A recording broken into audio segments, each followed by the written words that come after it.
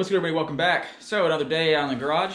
Um, previous videos we were working on a lot of carbon fiber projects and now that I have all of those complete, I want to redirect my attention back to the cosmetics externally of the car. Um, there's one major eyesore that the car has on it currently that happened about two, three months ago that needs to be addressed. So I'm gonna go ahead and show you what it is and then we'll discuss how we're gonna try to rectify it and hopefully by the end of this video we have a good result. But I guess we'll see. As I said, about three months back, I came out and I found this nice little dent right here in the rear quarter panel. So I'm gonna say that I was backed into by, I can only assume to be a uh, rubber truck bumper or something of that height. Because as you can see, it hit here initially, and then it pushed its way through the body, taking off layers of paint along the bumper's edge, and then resting right here and causing this nice little dent here. So the issue with this dent, if I smack up top here or suction it with a suction cup, it'll pop out. But the moment it's touched, it sucks back in. And the reason for that is down here at the bottom, you see this little section of paint right here that's, that's missing. There is a small little crease right there going horizontally across the panel. That little indention right there is what's causing all this tension that is causing this dent to stay in place. There's nothing up here that's going on. There's nothing to the outside. It's literally just this one spot from here to here and then a small little crease right there. So my goal today is to pop this crease out from the back side or pull it from the front side to relieve the stress so this dent will pop out and stay out. Now everybody knows I have a wide body kit and I wasn't concerned about this originally because a wide body panel would cover it. But um, it's going to take a minute for me to get this wide body put on. And I'm tired of seeing this. This is a huge eyesore. Anywhere I go, people always ask, what happened to your quarter panel? So I'm going to try to fix this. And if I don't fix it, well, it's going to get covered anyway. So at least I can say I tried. In front of you on the table, we have two kits from Harbor Freight. The first one I've never used before, so this is going to be a learning process for everybody. Uh, it's the Pittsburgh Automotive Crossbar Dent Repair Kit. Basically, in the kit, you have the crossbar with the anchors that are rubber backed to protect the body paint. You have your wing nut to tighten, and you have your two different size pulleys to apply glue to to pull the dent out from the car. Um, also in the kit, it comes with glue sticks, a glue gun, some release agent or cleaner, panel prep, a scraper to scrape any of the glue residue off when you go to remove it. And this is just a little, uh, this is a finishing tool. So if you have any high spots, you can tap them in with this and a small rubber hammer. We're gonna try to use this in combination with this hammer and dolly kit. So this hammer and dolly kit is also from Harbor Freight. However, this was bought a good 15 years ago when I was going through college so first thing, I'm gonna go ahead and get the trunk emptied out. I'm gonna go ahead and use the tools that I've used when taking apart the interior trim in every video you've seen thus far. And I'm gonna go ahead and get the camera set up on tripod and get the trunk taken apart.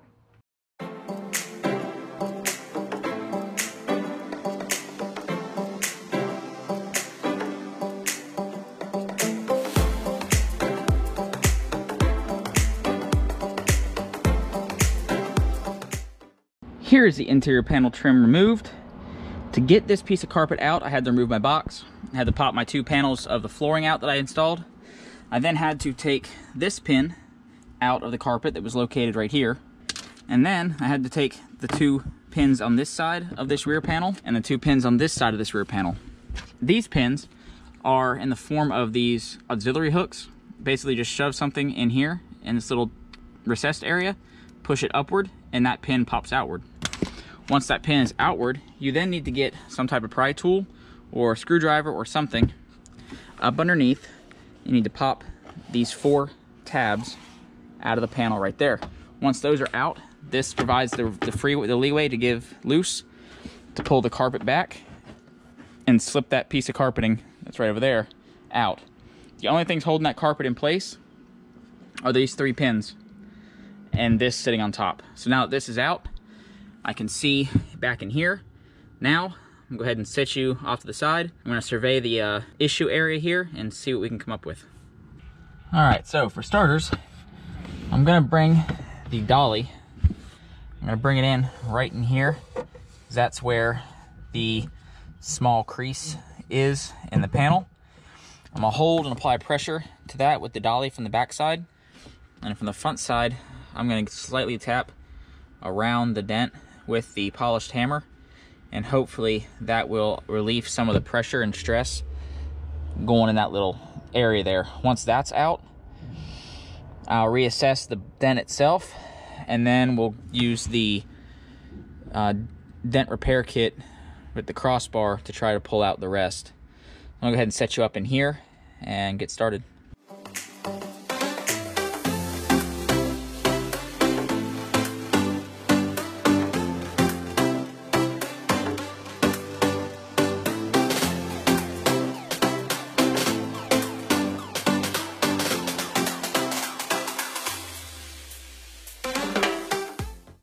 Before I go into any explanations, I'm sure you've probably noticed the, uh, the dramatic change in lighting. Um, this is about four or five hours apart from when I started this video to where I'm finishing this video because I had to leave in the, middle, in the middle of it to go do something for the family. No big deal. Just trying to get it knocked out before it gets too dark and I can't work tonight. So, what, what have we done so far? Recap. I used two different dollies and the small polished hammer and I've gotten it to where it is right now. So if I push, you hear it pop, but it pops back out. So that's good that means that I've pushed this, this crease out enough that it's now holding the pressure. The only thing really left is there's a small portion up here that is, that is still dented in. So this is where the uh, dentless repair kit that I showed you earlier comes into play. So I'm going to use the smaller pull, and I'm going to put that pull about right there with the glue on it to pull this thing out. In order to do this, you got to plug your glue gun in you gotta let it heat up for about 10, 12 minutes so the glue becomes pliable so you can actually apply it. You see, so as I squeezed, the glue starts to come out the end. That's good, that's ready to go. I gotta clean this area that I'm planning on applying the push to with the release agent. So I'm gonna clean that, I'm gonna wipe it off with a rag. I'm gonna apply the glue to the back of my puller and then we'll get the, uh, the crossbar system set up and, and you can actually watch the process as I twist it and hopefully pull that dent out.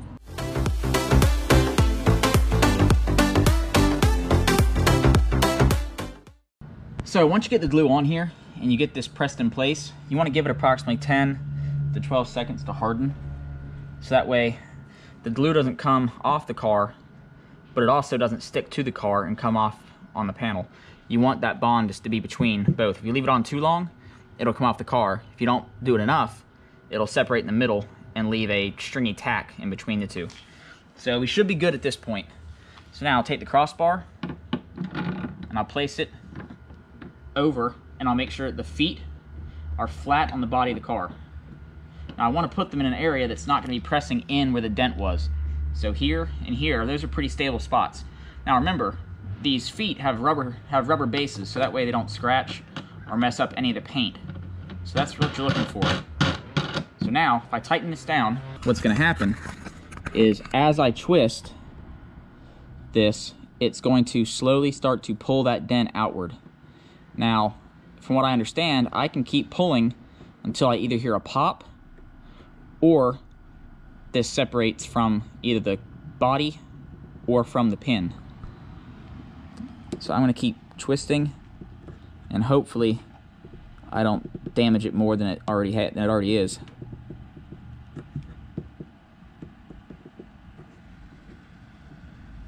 But it's not separating but it's definitely pulling.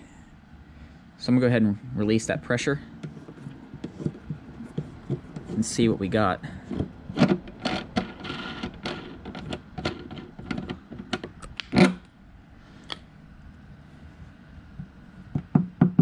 Notice how when I hit now, it's not buckling, it's not recoiling back inward. So that tells me that this dent was this dent's been pulled out. I just gotta get this glue off so I can so I can verify. So to do that, I need to get the release agent and start running the release agent back around this thing and use the scraper that came with the kit to push in behind the glue and peel that glue off.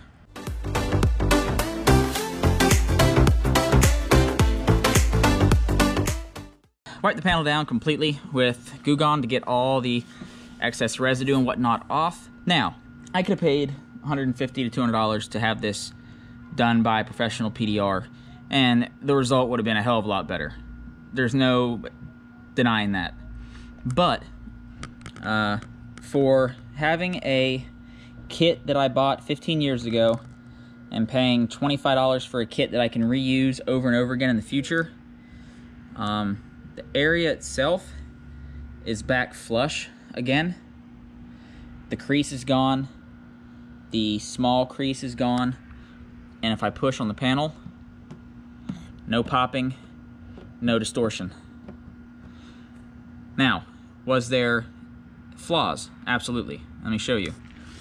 So, you know how I said if you leave the glue on too long, it could mess up the car? If you pull it too quick, it could come off the panel? Well, and in ensuring that I got everything on film for you guys, I left this on a little too long. And when I went to pull the glue, it took portions of the clear coat all the way down to the base coat away. So I have pieces, I have portions of primer showing right here and a little bit of clear removal around right there.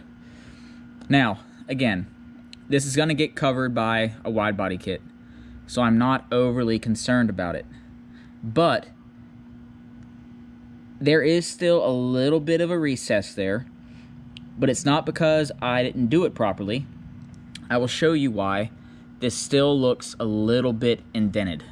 So, the reason there's a little bit of a dent still on the outside is because right where the dent's located, it is a double thickness of steel.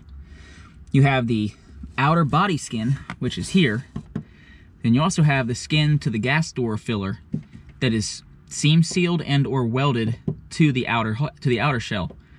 I can pull the outer shell all I want to, but it's not gonna move the inner skin that's connected to it. Now I could disconnect all this stuff and try to get back here with whatever, but it's not worth it. Because like I said, I'm putting a panel over top of it, so you're never gonna see it anyway.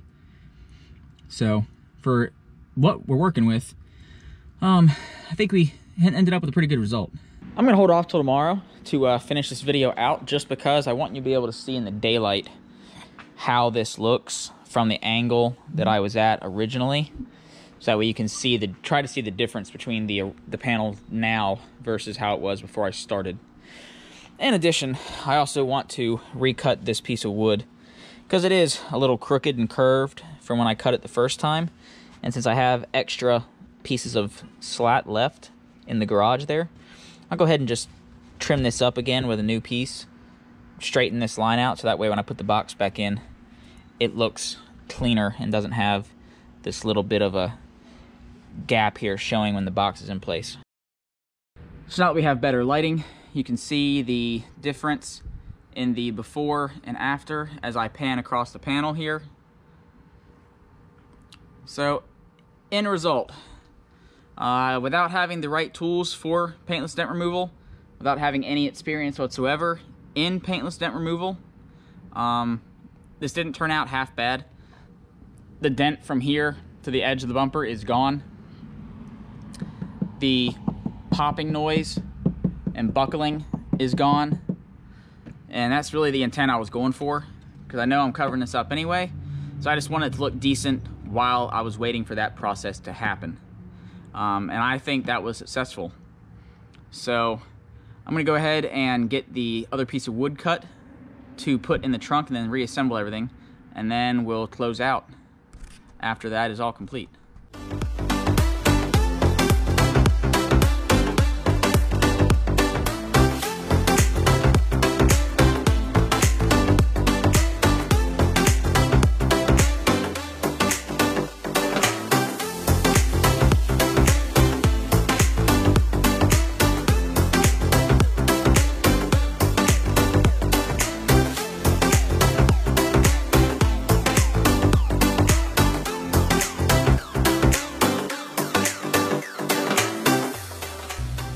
There we go. Everything's put back in.